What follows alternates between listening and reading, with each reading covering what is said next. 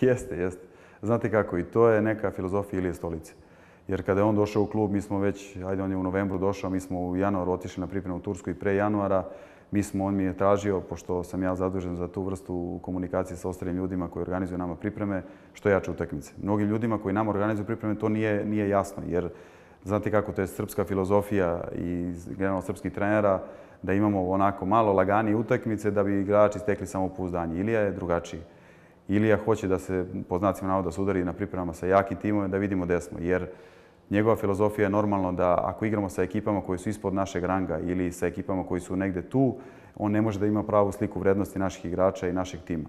Jednostavno, mi smo zakazali pripreme na, u Sloveniji. Definitivno je potvrđeno da ćemo igrati pre svega, ajde da kažem, 27. igramo sa Oreburgom u staroj pauzi, to je bivši premijer ligaš Ruski, koji isto ima jako mnogo stranaca u ekipi, dobar tim.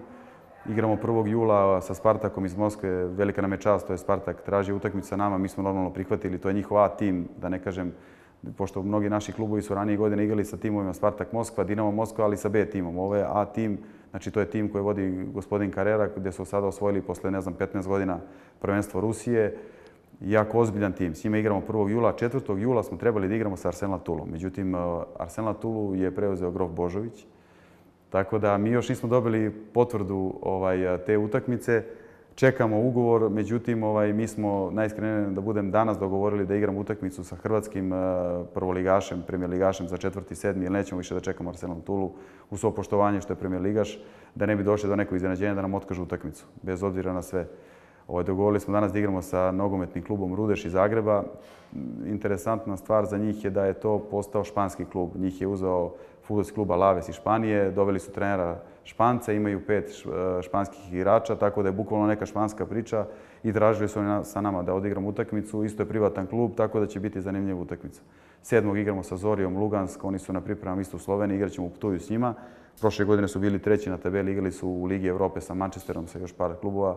Tako da sa te 11. je ostala utakmica, da li Union Berlin ili Slovenački proliga, što još treba utanačimo, ali su mnogo dobre provere i jake pripreme. Imali smo optica i možda da idemo čak i na Zlatibor, međutim, dobili smo isto jako povoljne uslove za pripreme i dobar je hotel i tereni su dobri, međutim, nama nije odgovaralo, nisu odgovarali protivnici, jer je Ili insistirao da imamo što jače protivnike.